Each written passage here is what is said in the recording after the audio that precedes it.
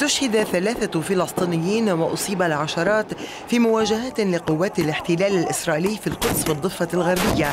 بعدما منع المحتل آلاف الفلسطينيين من الوصول إلى المسجد الأقصى لأداء صلاة الجمعة وأغلقت كل الطرق المؤدية إليه وأعلنت البلدة القديمة منطقة عسكرية مغلقة.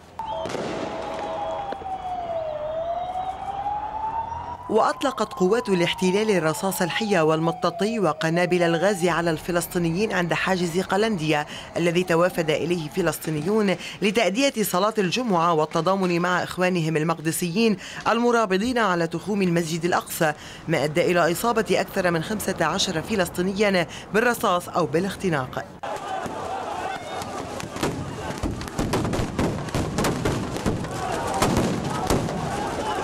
وقد عززت قوات الاحتلال انتشارها لمنع الفلسطينيين من دخول القدس فيما توافد الفلسطينيون إلى محيط بوابة الأقصى لا سيما عند باب الأصباط ومنطقة وادي الجوز وباب المجلس وباب الخليل وباقي المناطق حيث أصر المقدسيون على الصلاة في الشوارع ورفض البوابات الإلكترونية وسط اعتداءات من شرطة الاحتلال على المصلين المتجمهرين عند كثير من الحواجز.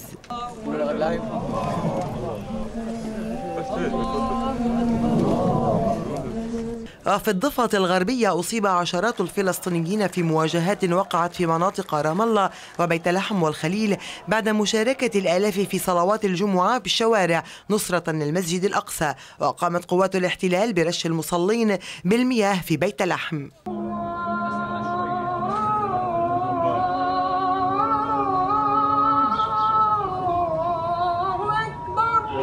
وتضامنا مع المسجد الأقصى انطلقت بعد صلاة الجمعة مسيرات حاشدة من جميع مساجد قطاع غزة بدعوة من حركتي الجهاد الإسلامي وحماس رفضا لسياسة الاحتلال الصهيوني الإجرامية بحق الأقصى ومدينة القدس المحتلة.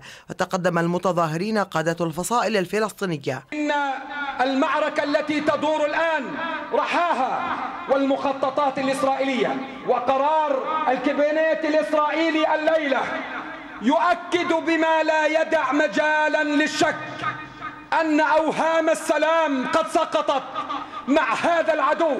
وتجمع المتظاهرون في ساحة المجلس التشريعي الفلسطيني في مدينة غزة وسط استعراض عسكري للفصائل المسلحة. وأكدت الفصائل الفلسطينية أنها لن تقف مكتوفة اليدين إزاء ما يجري في القدس.